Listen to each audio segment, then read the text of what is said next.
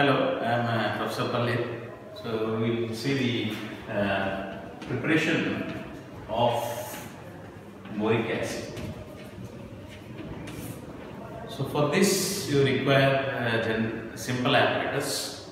One is beaker and uh, you require a glass rod and the chemicals required for this is borax, uh, dilute sulfuric acid and water. So uh, let me brief you about the principle involved. So exactly the borax, the formula Na2B4O7 that's uh, react with the sulfuric acid okay plus transfer of water. So since this uh, borax is also called as sodium tetraborate so this boric acid will react with the sulfuric acid, uh, plays an uh, acid medium with the water and to yield this it's called a simple hydrolysis method, simple acid hydrolysis method. So where you get the required compound sodium sulfate plus even uh, boric acid will be eliminated.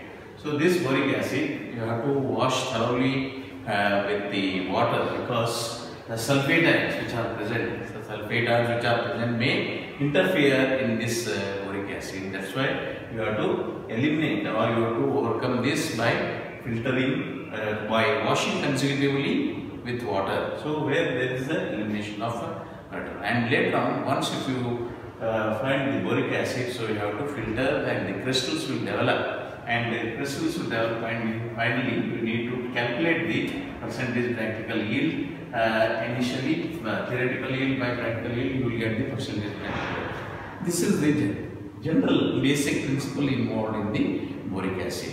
So coming to the uh, practical aspects, transfer the borax and then place in a water bath. So add around 10 ml of water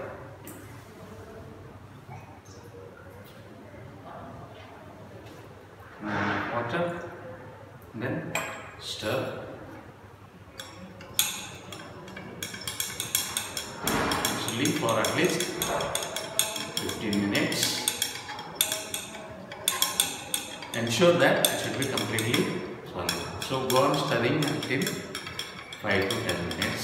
So the borax will yield the water will be dissolved completely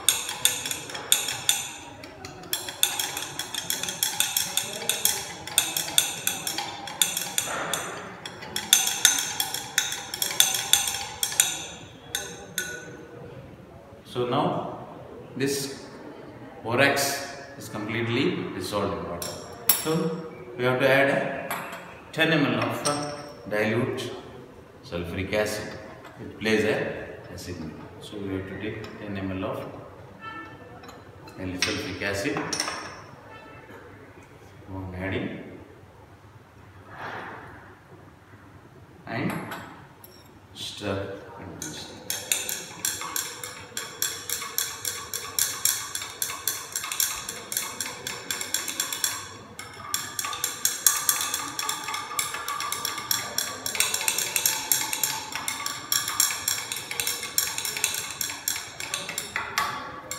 at least 5 to 10 minutes.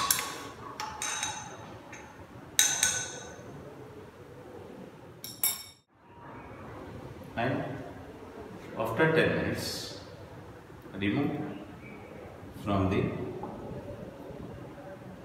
then cool it. You have to cool it under ice or running water. Then cool it down under running water. You can use ice water bath or running water. So after cooling for 5 minutes, so keep it aside for some more minutes where there will be development of crystals.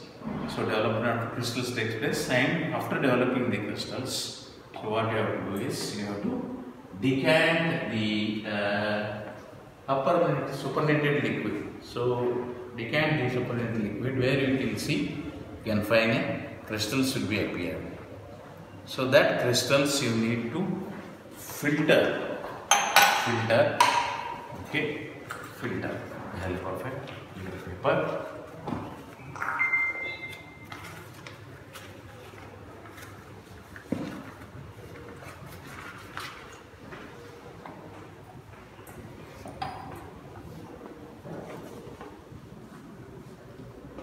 So once we filter,